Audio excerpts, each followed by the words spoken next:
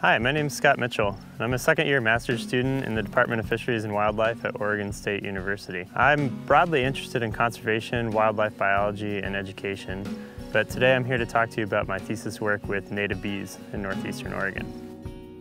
So I came to wildlife science and ecology, as many people do, from a love of the outdoors.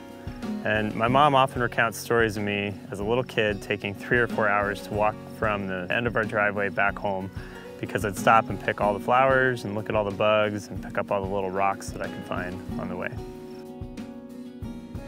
My ability to perform the so-called nature crawl has followed me into adulthood and has really served me well in, in my research. I now look at the interactions between plants and their pollinators. For my thesis work, I am working with Dr. Sandra DeBano on questions relating to how land management decisions can affect native pollinator communities in northeastern Oregon. Specifically, I am interested in how grazing, both from native ungulates and cattle, can impact bee and flowering plant populations. I am also interested in exploring the connections between bees and woody shrubs and understanding how shrubs can be used to provide forage resources for bees. Before I talk more about my work, I'd like to introduce you to some of the critters that we research. I study a great group of insects called bees. Everyone knows what a bee is, right? But how much do you actually know?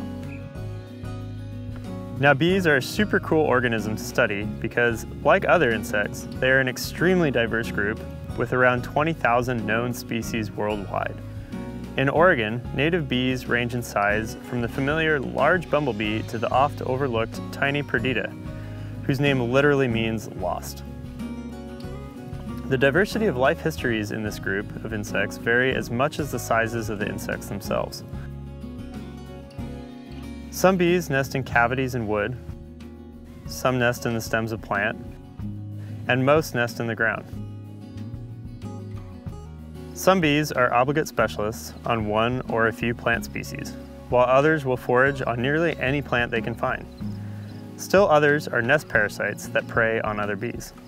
Unlike honeybees, most bees that are native to Oregon are solitary, and females work alone to create and provision nests for their eggs and their future offspring.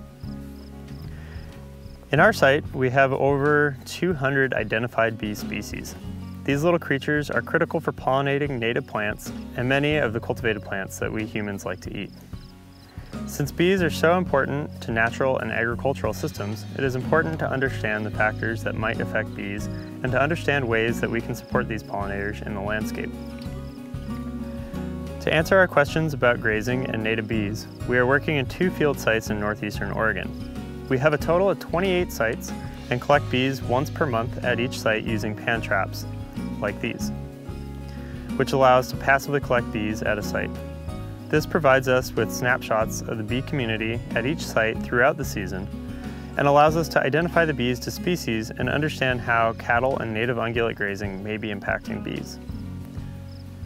The other portion of my study focuses on the interactions between bees and native woody shrubs.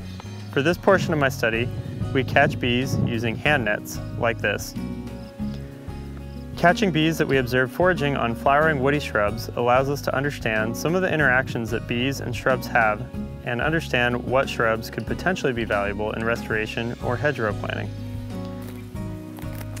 In the future, I hope that my work can help landowners, farmers, and land managers better understand how to promote bee conservation on their property. I hope that this will influence people to make good decisions for bees across the Pacific Northwest and promote bee conservation in our area.